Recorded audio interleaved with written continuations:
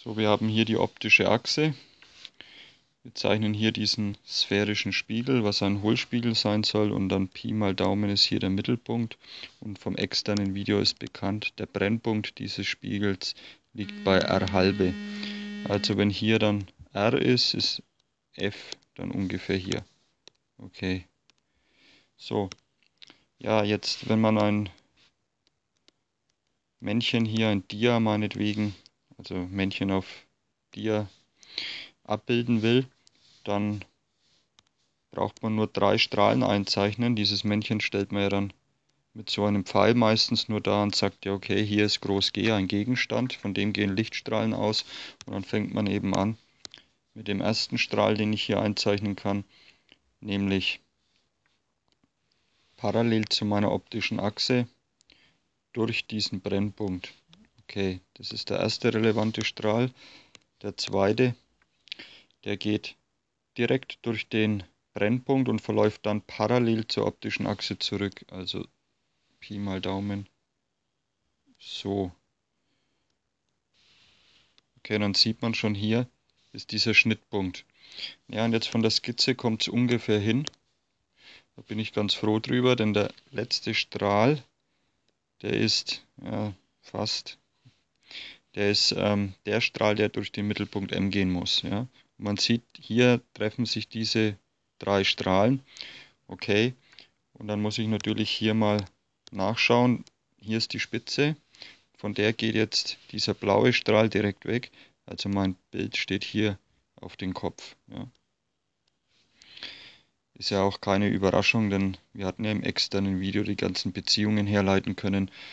Dort wurde ja das Verhältnis Groß B zu G als minus klein b zu G ähm, her, hergeleitet. Also das wird ja auch als Ver Vergrößerung meines Gegenstands bezeichnet.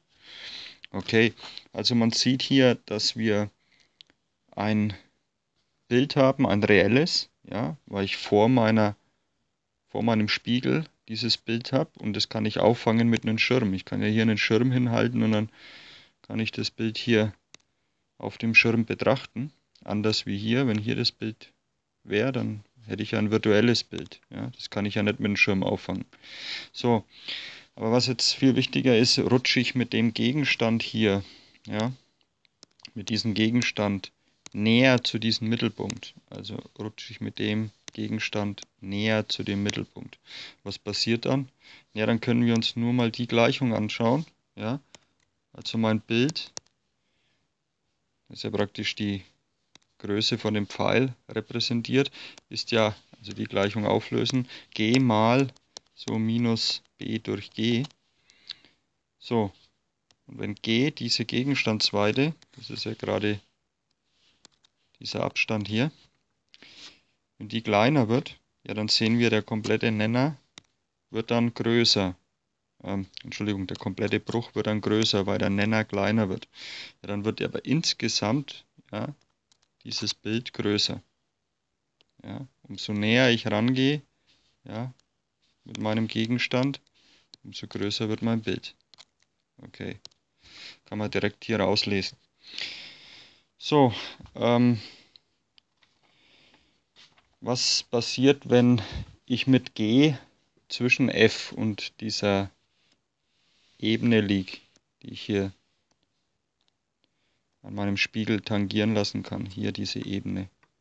Ja, dann habe ich ja wieder meinen Mittelpunkt die Hälfte davon, da ist die Brennweite und jetzt liege ich mit G hier. Ja, in dem Bereich. Was passiert dann? Dann kriege ich plötzlich ein virtuelles Bild, weil mit denselben Überlegungen kann ich jetzt mein Bild konstruieren. Ja? Ich bleibe bei den Farben, die ich hier verwendet habe.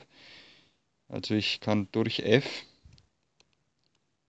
meinen Strahl legen und der muss dann parallel zu meiner optischen Achse verlaufen. Ja gut, dann verlängere ich den nach hinten. Ich bin in diesem virtuellen Bereich. Okay. Dann habe ich einen blauen Strahl, den ich hier noch einzeichnen kann. Ja, okay, und der geht ja von diesem Gegenstand weg und wird reflektiert wieder zu diesem Mittelpunkt. Ja? aber nach hinten muss ich den verlängern und habe hier den Schnittpunkt. Also reichen grün und blau zu dem Zeitpunkt schon aus, um das Bild hier zu erzeugen, nämlich hier. Und was sehen wir? G ist kleiner als B. Also das wirkt vergrößernd hier. Und wenn wir jetzt eine bestimmte Konvention noch festlegen, wenn wir sagen, ja, G ist dann größer 0, falls Groß G auf Seite, wo Licht ausgeht, steht. Und b größer 0, falls b, ja das dauert zu lang, sage ich mündlich, dieses b, also diese Bildweite, die ich hier zuordnen kann, ja, diese Bildweite, dieses b ist dann größer 0, falls dieses b auf der Seite ist, wo das Licht reflektiert wird. Wenn es auf der anderen Seite ist, wie hier, ja, also hier wird ja das Licht reflektiert, aber da steht ja mein B nicht, dann ist B negativ, ja. Also wenn dieses B auf der Seite ist, wo das Licht nicht reflektiert ist, also hier, ja, dann ist B negativ. Ja, und das kann man auf F übertragen. Die Brennweite ist dann größer 0, falls der Spiegel konkav ist. Ne? Also so wie hier dieser Hohlspiegel. Bei diesem Konvexspiegel ist es anders. Zu dem kommen wir mal gleich. Ähm, ja, genau, machen wir den auch noch. Ähm, dieser Hohlspiegel hier, der wird ja auch von Zahnärzten sozusagen verwendet. Ja? Die haben ja solche Spiegel hier. Wenn sie schauen, ob Schäden bei den Zähnen vorliegen, dann brauchen, brauchen die ja so einen Effekt. Wenn das mein Zahn ist, dann wäre es ja schön, wenn ich den Zahn vergrößert sehen könnte, wenn ich hier mit dem Spiegel in den Mundbereich eindringen. Ja? Genau das wollen ja diese Zahnärzte dann auch sehen. Ja? Ein vergrößertes Bild. Das kann man aber auch zum Rasieren benutzen, solche Spiegel. Ja? Also um diese Bartstoppeln dann relativ groß zu sehen, ob die Rasur dann sauber genug ist für den Wochenendspaziergang oder auch nicht. Gut, also wir haben dann einen sogenannten Konvexspiegel noch zu betrachten. Da muss ja dann aus den Überlegungen, von den Überlegungen her f kleiner als 0 sein, also negativ, weil ja das gilt. f ist r halbe, das dürfen wir nicht vergessen. Und r liegt jetzt in diesem Bereich, wo diese virtuellen Bilder entstehen. Ja? Wenn ich jetzt hier meine optische Achse wieder herzeichne und jetzt diesen Spiegel, also anders wie der, ja? ein Konvexspiegel, das ist ein Konvexspiegel. Ja, okay, und dann kann ich ja hier auch einen Mittelpunkt zuordnen und dann die Hälfte davon ist meine Brennweite. Ja. Jetzt sieht man aber, ich bin in dem Bereich, wo beim ähm, Konkavspiegel diese virtuellen Bilder entstehen. Ja. Also R, dieser Abstand R, ist negativ zu zählen, hier oben. Dann wird auch F negativ. So, aber jetzt schauen wir mal, wenn hier dieser Gegenstand steht, dann kann ich mit denselben Überlegungen, ich mache es jetzt nicht mehr farbig, hier diese, dieses Bild erzeugen. Ja. Jetzt bin ich in dem Bereich.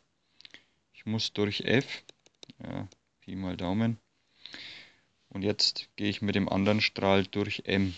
Ja. Okay. Also hier treffe ich auf den Spiegel auf. Der Lichtstrahl wird ja wieder reflektiert, aber ich gehe hier, verlängere das Ganze und gehe durch M.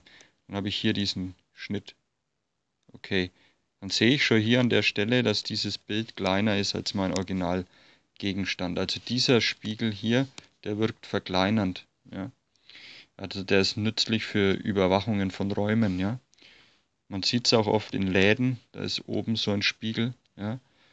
Die Person, die hier, also Ladenbesitzer, braucht hier nur reinschauen und sieht dann ein Abbild von dem Raum. Also hier ist sozusagen der komplette Raum abgebildet und es ist gerade deshalb so, weil der Spiegel so fungiert. Das ist ein Konvexspiegel, der ja, schrumpft das Originalbild sozusagen. In dem Spiegel ist dann dieser ganze Laden sozusagen zu sehen. Ja? Also solche Spiegel sind dann gut zur Überwachung geeignet. Ja, was kann man noch sagen? Das war es jetzt eigentlich an der Stelle. Ja, im externen Video machen wir mal diesen Ebenenspiegel. Ja. Okay, und das war es mal zu diesen ja, sphärischen Spiegeln.